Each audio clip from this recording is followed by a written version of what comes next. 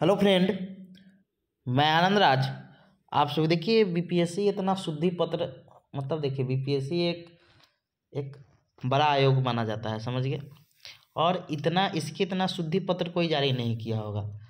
अब देखिए, एग्ज़ाम से पहले नहीं बोला कि, एग्ज़ाम से पहले बोला कि हम, उसमें नौ नंबर चाहिए पास का। बोल रहा है कि वो ज़ीरो कर दिया गया है, लेकिन आपका जब टाई होगा, यानी जब स्कोर जब टाई होगा तो वहाँ पर नंबर देखा जाएगा। ये क्या चुतियापा है आपका? जब आपका एग्ज़ाम नहीं, से पहले ही बोल देते कि हाँ ज़ीरो है।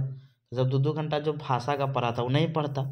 तो देखिए, लिखा क्या है? बिहार लोक सेवा आयोग कहता है कि इस पर कुछ बोलिए ना। कह देगा कि, हम नोटिस निकाल देंगे अब स्पष्टीकरण दीजिए। अपन गलती इतना बड़ा किया है कि बताइए, अब बंगला और उर्दू का क्वेश्चन नहीं दिया तो इसका ना गलती है। अब दोबारा एग्ज़ाम लीजिए, जो भी चीज़ कीजिए, उससे आप सबको लपेट लीजिएगा। जो फेल हुआ है, चाहे जो पढ़ा है तीन घंटा तो बुर्बक हो गया, जो नहीं पढ़ा, वो तेज हो गया।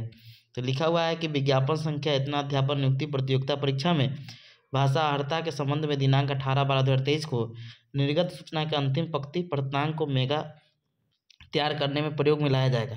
को प्रतांक को द्वितीय टाइप ब्रेकर की स्थिति में मेगा तैयार करने में प्रयोग में लाया जाएगा, पढ़ा जाए। समझ गए?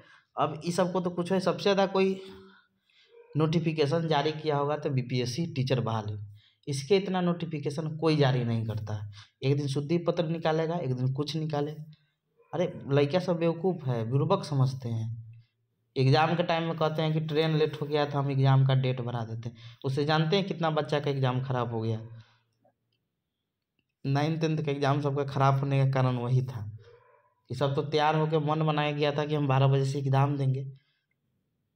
अब क्या हुआ कि आप डेट बढ़ा कर अढ़ाई बजे, पाँच बजे तक एग्ज़ाम दिया वो ठंडा में सब बिना भूखले खैले गया था, बिना खाए हुए। ये सब समझना चाहिए आपको।